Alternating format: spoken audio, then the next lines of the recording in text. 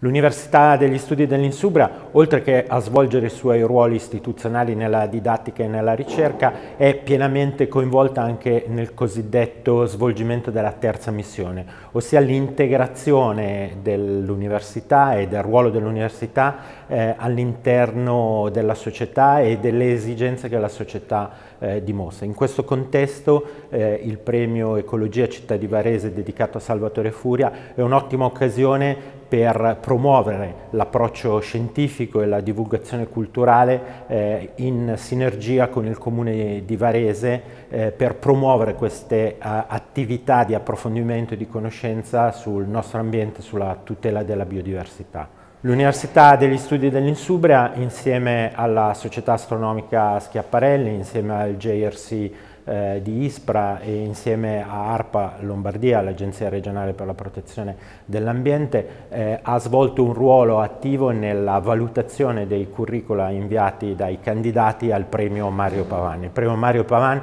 è un premio dedicato ai giovani ricercatori che iniziano la loro carriera, premiando quindi dei dottorati che hanno svolto attività di ricerca eh, nell'ambito della tutela della biodiversità.